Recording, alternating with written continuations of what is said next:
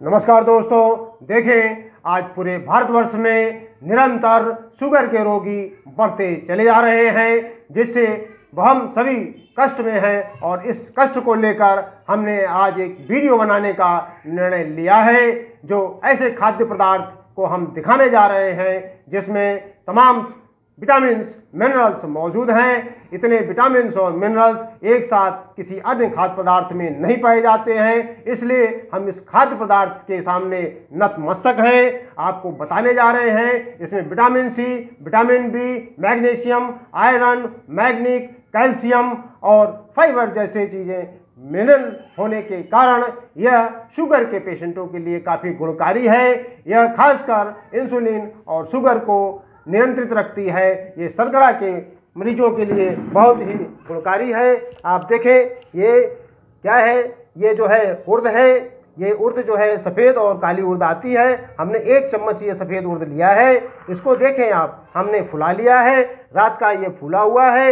इसको जो है ऐसे पीस लेते हैं। पीसने में जो है ये, इसमें एक चुटकी ये हींग मिलाया गया है और एक जो है मिर्चा मिलाया गया है इसमें। और थोड़ा जो है, ये आप देख रहे हैं, ये पाउडर है, उसका अदरक का पाउडर ये डाला गया है और आपके इसके साथ ही ये एक जो है पुदीना है, ये सुखा के जिसको मिंट कहते हैं, एक चम्मच पुदीना इसमें डाला गया है।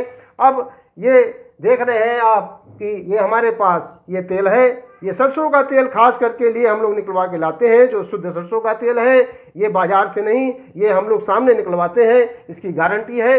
और ये सरसों का तेल काफ़ी एंटीबायोटिक एंटी फंगल और एंटी रोधक है। ये शुगर के मरीजों के लिए काफ़ी हितकारी है। या तो आप शुद्ध घी इस्तेमाल करें, या सरसों का तेल इस्तेमाल करें। हमें जो है, आयुर्वेद ने बताया है, खास करके इसको इस्तेमाल करने के लिए।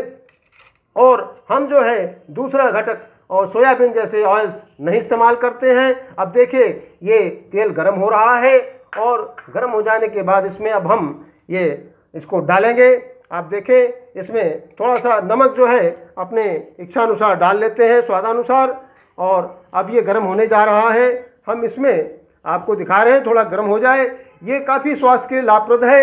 हम जितना आपको जो है डोज बताएँगे, उतना ही डोज लेना है, क्योंकि ये बलकारी और पुष्टकारक होने के साथ साथ हाजमा भी सही रखता है, पेट को दुरुस्त रखता है। लेकिन एक चीज़ की बंदिश है कि शुगर को जो है नियंत्रित, शुगर के पेशेंट को नियंत्रित डाइट लेनी है, उसी डाइट के तहत आपको रहना है। ऐसा नहीं कि कोई अच्छी चीज़ अगर आपको बताई जाए तो आप उसको जो है अनियंत्रित होकर ले। ये देखें थोड़ा हम इसको डाल के ऐसे हमको बताया गया है, थोड़ा फैला देना है और अब जो है एक और डाल देते हैं साइड में। ये देखें आप जो है, थोड़ा ऐसे ही इसको फैला देंगे तो ये थोड़ा अपने स्वरूप में सुंदर दिखेगा। हर चीज़ को सुंदर दिखना चाहिए। आप जो है, स्वस्थ रहें, मस्त रहें, हमेशा बच्चों के साथ खेले कूदें और अपने स्वास्थ्य को नियमित रखें, थोड़ा व्यायाम करें और व्यायाम बहुत ज़रूरी है। दो से चार किलोमीटर जितना आप पैदल चल सके, वो पैदल चले। और बहुत तो अच्छा रहेगा कि हमारी माता जी जो है, भोर में उठती थी और स्वास्थ्य लाभ के लिए थोड़ा टहलती थी। उसका कहना था कि भोर में उठने में एक हवा चलती है, जो हवा काफ़ी गुणकारी होती है। वो हवा जो है, वो उनका इस्तेमाल हवा का वो करती थी।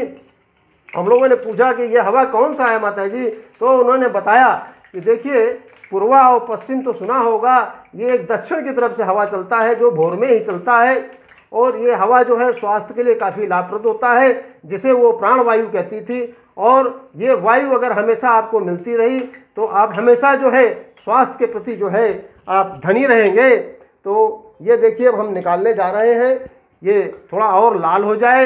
देखें, काफ़ी ये जो है डेवलप हो गया है अपने स्वरूप में, यही जो है ये पीस हम इसको निकाल के पानी में थोड़ा डाल देंगे।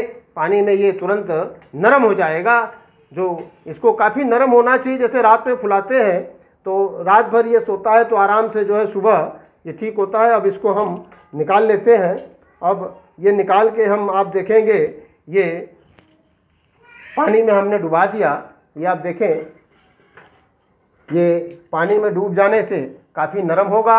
अब इसके बाद जो है, हम इसको चम्मच से निकाल के ये सब देख रहे हैं आप। ये सेंधा नमक है, ये काला नमक है, ये भुना हुआ जीरा है और ये थोड़ा ये मिर्चा है और अब हम इसमें इसको निकाल लेंगे एक पीस और आपको दिखाएँगे कि कैसे इसका इस्तेमाल करना है। तो ये देखें, थोड़ा जो अच्छा पीस है, इसको ऐसे एक ले लिया, एक और ले सकते हैं आप। और इसमें जो है ये आप देखें, ये दही है, ये दो बार मलाई निकाली हुई है, इसमें जो है लो फैट है फैट नहीं होनी चाहिए शुगर के पेशेंट के लिए, ये हम दो बार मलाई निकाल के गाय का दूध है, और सूखी दही एकदम जो है अच्छी सजाओ दही ताज़ी हमने इस पर डाली, ये आप देखें, और एक चम्मच और आप डाल लें, छोटा है चम्मच तो ठीक है, और बड़ा है तो एक ही चम्मच में हो जाएगा, और ये दही में जाने आपकी दूध से ज़्यादा डेढ़ गुना कैल्शियम होता है कैल्शियम इसमें बढ़ जाता है दूध से, इसलिए दही का इस्तेमाल हम लोग करते हैं। ये देखिए, हमने सीधा नमक, आयुर्वेद ने कहा है, ये थोड़ा सीधा नमक इसमें डाला और अब ये मुँह में पानी आने लगा इसको देख के। ये जो है काला नमक हमने डाला और ये देखिए, आप जो है भुना हुआ जीरा, ये हमने इस पर जो है डाल दिया और ये देखें आप जो है ये अब धीरे धीरे ये आपके स्वादानुसार हो जा रहा है और ये देखिए, अंत में थोड़ा सा हमने ये जो मिर्च है, देगी मिर्च, इसको मैंने जो है इस्तेमाल किया। ये देखें, अब ये काफ़ी हेल्दी और ये टेस्टी हो गया। और ये शुगर के मरीजों के लिए इतना ही डाइट काफ़ी है। आप इसको जो है अपने नाश्ते में, ऊपर शाम को, सुबह कभी भी जो है इसको आप ले सकते हैं। ये आप देखें, और आपके आशीर्वाद से जो है ये बन गया। वीडियो में आप बने रहें। और आप अगर अच्छा लगे तो लाइक करें सब्सक्राइब करें। धन्यवाद